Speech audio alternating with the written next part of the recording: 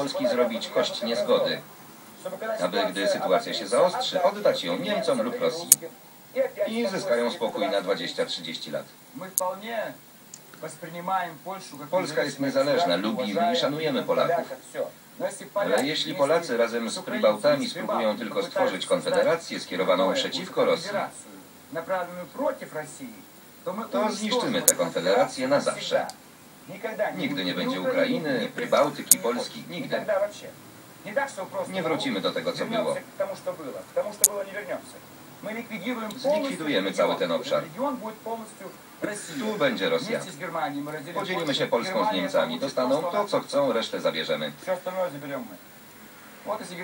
Niemcom potrzebny jest polski korytarz. Śląsk, Szczecin, Gdańsk.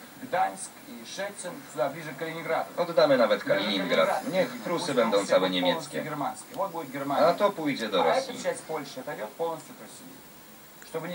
Niech zniknie z zachodu wróg. Niemcy będą zadowoleni. Trzecia wojna światowa dla nas byłaby ostatnią. Jeśli ją przegramy, to koniec Rosji. Musimy wygrać. Dlatego musimy skończyć z wrogami na zachodzie. Tylko Polska nam zagraża. Próbuję zagrywać z Pribautami i Ukrainą. I na południu Turcja, Iran, Afganistan. Poinformowałem o tym Amerykanów, Brytyjczyków, Francuzów, Japończyków. Wszyscy znają ten plan Rosji. Musimy mieć morskie granice na południu i czas skończyć z odchyleniami od granic zachodnich. Nie wolno Rosji niepokoić.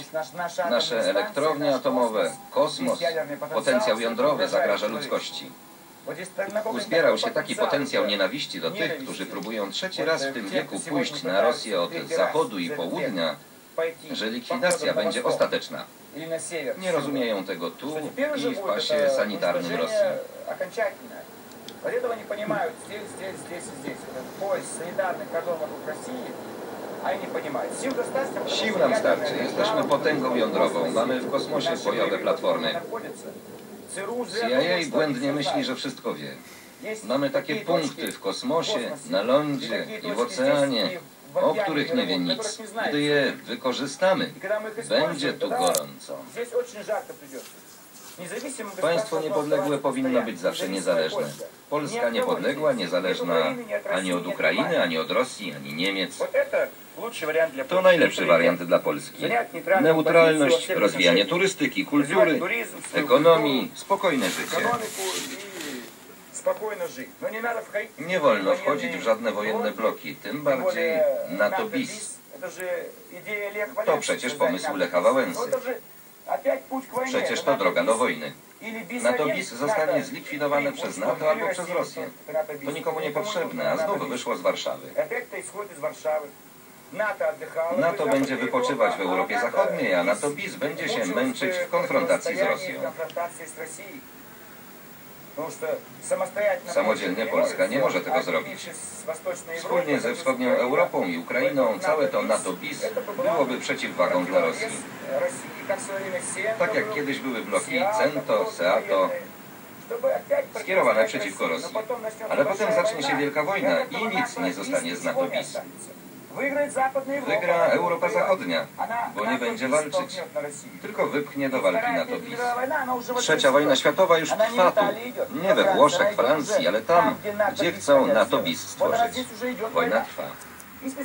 Chcą w nią wciągnąć Polskę i wszystkich stąd. Ukrainę wciągają w wojnę na Kaukazie z Gruzją. To NATO PiS. Ukraina już walczy.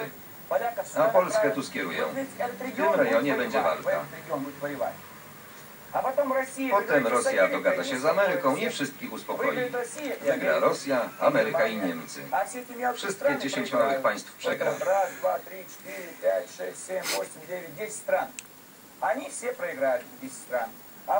Wygrają dwa supermocarstwa.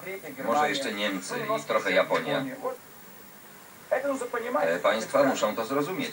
To pionki w rozgrywce supermocarstw. Jeżeli Polacy pójdą jednak drogą, na którą popychają ją z Londynu, z Tel Awiwu, z Waszyngtonu, to koniec Polski. Niezależna polityka zagraniczna i wewnętrzna. Niech każdy żyje jak chce, ale nie wolno przeszkadzać. To tak jak z niezależnością człowieka. Mam prawo do wszystkiego, ale nie wolno przeszkadzać sąsiadowi z góry, z dołu, obok. Tak samo państwa.